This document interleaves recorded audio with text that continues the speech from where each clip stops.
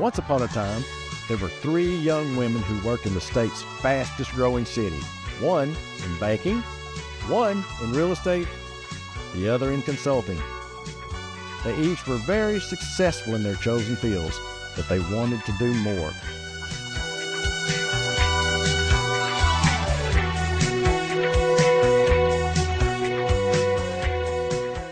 So now they work for me.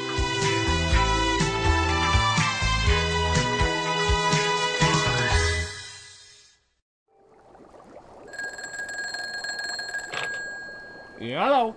Bosley, I need you to get the angels together. Sure thing. What's up, boss? Someone or something is up to some suspicious activity. A lot of money is moving around, and I want to know where it's coming from. My people tell me that there's more than $100,000 just showed up for early childhood education, arts and culture programming, and downtown murals. Yeah, that sounds like to. Let me finish. Money went to the Conway Symphony Orchestra, and now there are designs for a new pocket park downtown. Yeah, that's definitely. Bosley, get the angels together. Hop to it. Sure thing, boss. On it.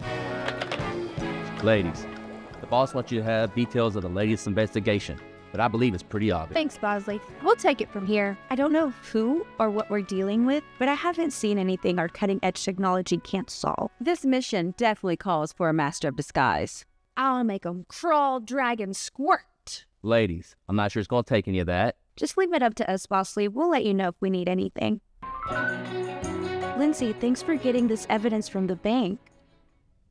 Just like the boss said, a five figure check to the Dolly Parton Imagination Library and Child Care Aware Preschool Education.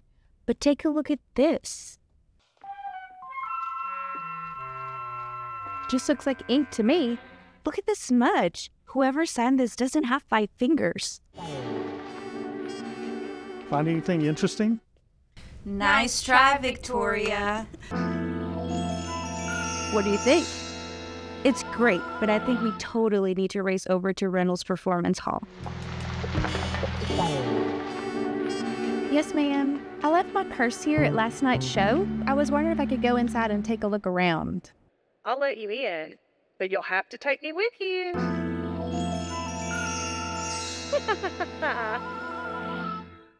Why? How is that even helping?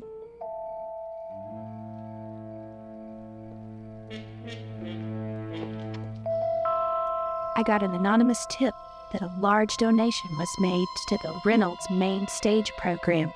I know we're close. Did you hear that?